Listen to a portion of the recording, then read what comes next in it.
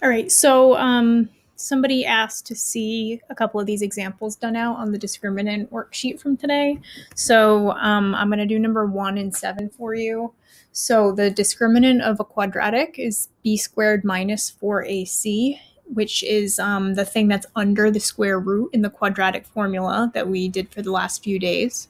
Um, so the first thing before you do any of these the quadratic equation that you're given needs to be equal to zero. So um, for number one, it's already equal to zero, so we don't need to do anything with that. Um, now, since we're doing b squared minus 4ac, we need to identify what a, b, and c are. Um, and just like before, um, it's just the coefficients. So a is 6, b is negative 2, and c is negative 3.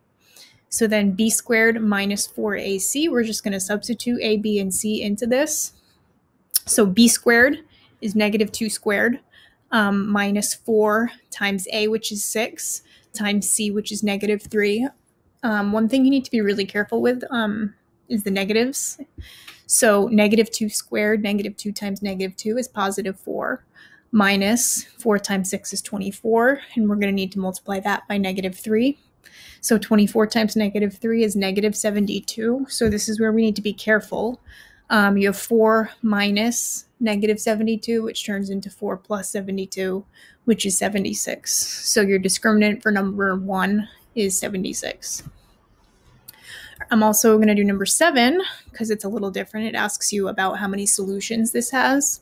Um, another thing that's different about 7 is that it's not equal to 0, it's equal to negative 10. So we need to add 10 to both sides of this before we start anything. So once we add 10 to both sides, negative 8 plus 10 is positive 2.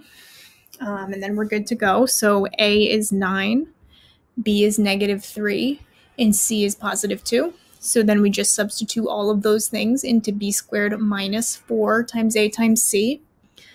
So b squared is negative 3 squared minus 4 times a, which is 9, times c, which is 2. And then we just simplify that. So negative 3 squared is 9, uh, minus 4 times 9 is 36. And then we're going to need to multiply that by 2. So 36 times 2 is 72. 9 minus 72 is negative 63. So the discriminant is negative in this case, which, if you're thinking about the quadratic formula, it makes sense that that's not going to have any solutions because you're not allowed to have a negative number under a square root.